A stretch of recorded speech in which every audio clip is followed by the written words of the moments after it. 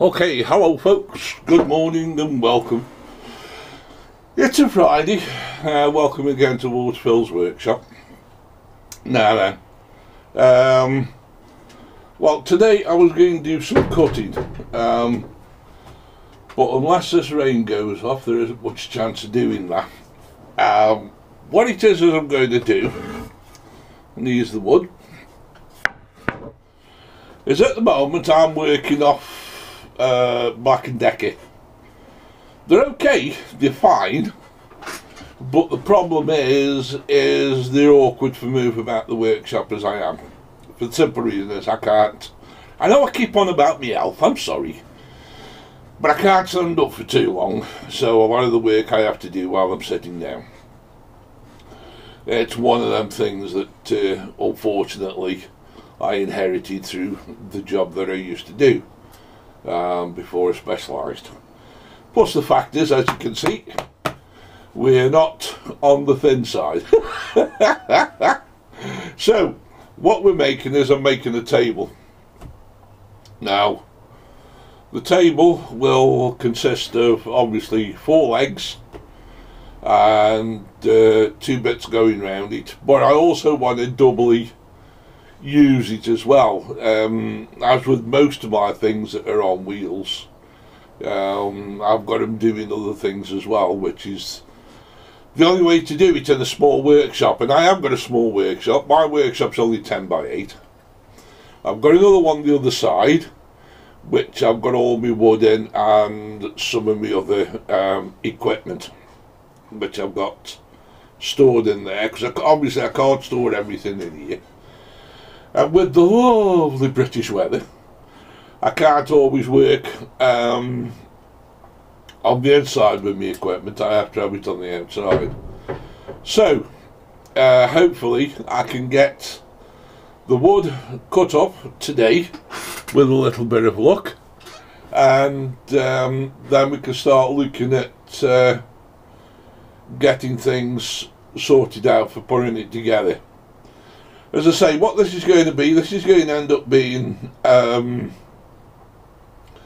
a workable unit on wheels with uh, brakes on. The idea being is I can sit here in the comfort while I, while I'm working on there, putting stuff together. Uh, because eventually this bench that I've got in here, really I only need a small bit for when I'm doing my electronics.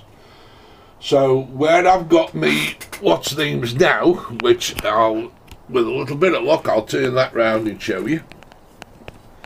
As you can see, I've got some of my clamps there. Right, and what's going to be happening, it's going to end up going from that bench bottom, or bench top, right up to I change up. You see that little white bit there that's got a clamp attached to it? It's going up to that height, hopefully, or somewhere near. That then is going to house everything that I've actually got on the shelf.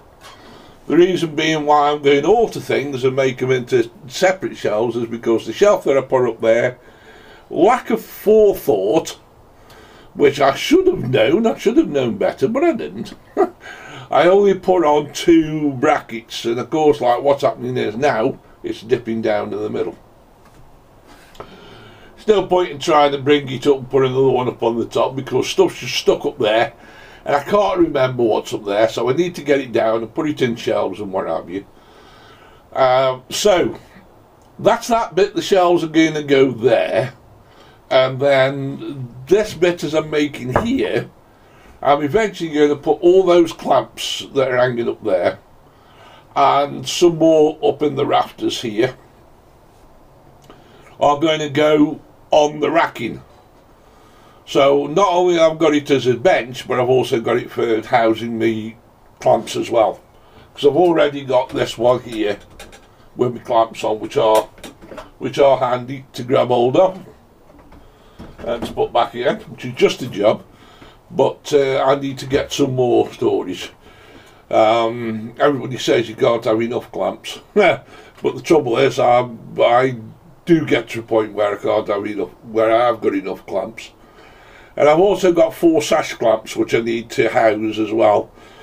But those I think are probably going to go, I don't know, um, they're probably going to go down by the compressor, down at the bottom by the gate, by the door there. So that's what we've got coming up. Those are the two projects that we've got coming up, um, immediate ones. The ones after that is I've got uh, I've got some more jewellery boxes I want to make, but I want to make them differently. Um, I've got a bit, I've got some plywood which I want to use, um, but what I want to do, hopefully, is do some sort of inlay work um, on them, which is or could be uh, some uh, copper or brass to go in there, and possibly the other things I've seen done, which I'm quite fascinated by, uh, people have actually done some um, using a router or uh, a Dremel, which I've got the Dremel and I've got the small router. Um, which have actually done a design on it and then welted um, coloured crayons into them and then covered them in um, oh oh good grief yeah this, this is where the brain goes fuzzy sometimes. Uh, it's covered them in um, not shellac. Uh, varnish.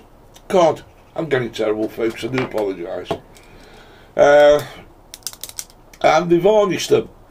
And they look very good actually uh, most uh, most enjoyable to watch. So okay this is the first part to say what's going on. Um, the other bit as well that those of you that knows I'm on Facebook uh, I put a little bit of a rant on there which I don't suppose I should have done really it, it shouldn't bother me but it does do um, I appreciate those of you that are um, uh, that have subscribed to my channel. I do appreciate it, and uh, these one or two of you that said that uh, they enjoy following what I do, which believe me, it means quite a lot to hear that.